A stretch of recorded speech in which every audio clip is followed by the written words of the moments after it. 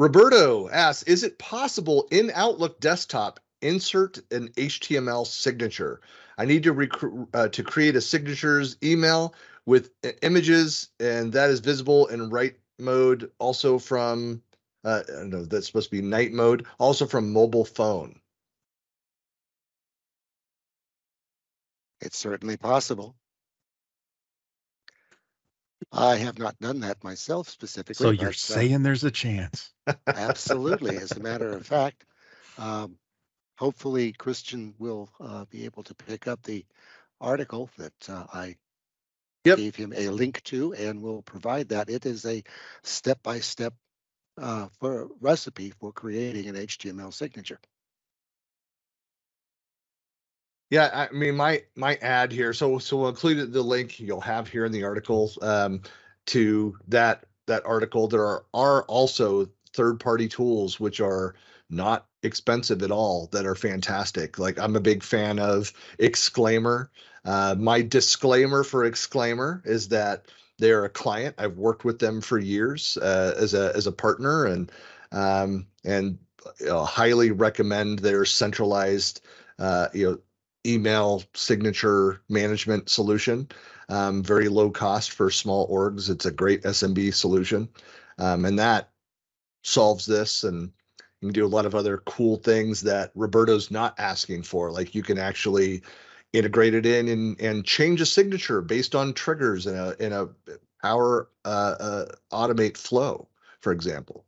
Um, so there's a lot that you can do to to automate that. And uh, you can have email signatures that automatically change for your organization based on uh, a campaign that's running. And when the campaign expires or you know um, it, it, so it's it's just a really cool application. So there's a lot of ways. And i know there's competitive solutions that are out there as well.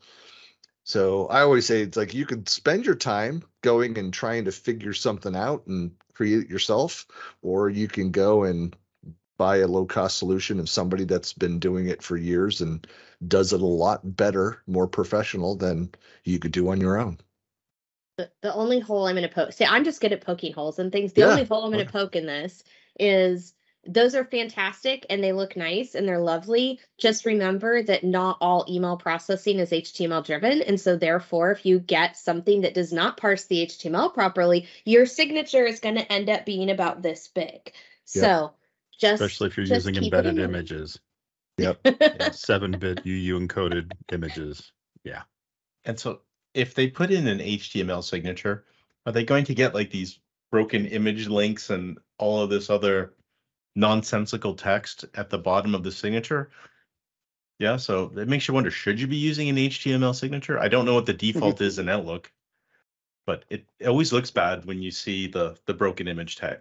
Outlook defaults to HTML, but again, that's if you're linking to an image, that can be a broken image. But if you UU encode the image and put it in line, that'll show up on any HTML viewer. And for those who don't have HTML, it's going to be a block of junk garbage text. So it's broken link or bunch of junk.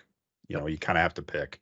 To be fair, we're in a world now. Now, had this been several years ago, I might not say this, but I think we're in a world where we're almost over that 80% hump, where 80% of people who are interacting with email in some nature are probably doing it in an HTML way. Um, but I still think there are some people who do, you know, use kind of older viewers or whatever, have maybe um you know, like if you think about going through um, government restricted things where they don't allow HTML to come through for the parsing reasons, you know, anything that's in a secure environment, some of those types of things have Or any Unix based do it. system user. Exactly. And some people are just all 10 stubborn. of I've them. got a friend here locally that, that still runs Eudora.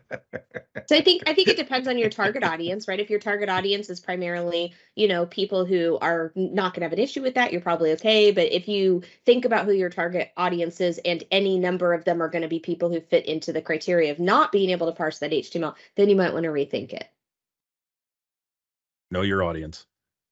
Mm-hmm. Sorry, my gentle slam there at, at Unix. you know, Is it's true, HTML Sean. still that newfangled technology? Yeah. It's what all the kids are doing these days, Sean. That Snazzy. HTML.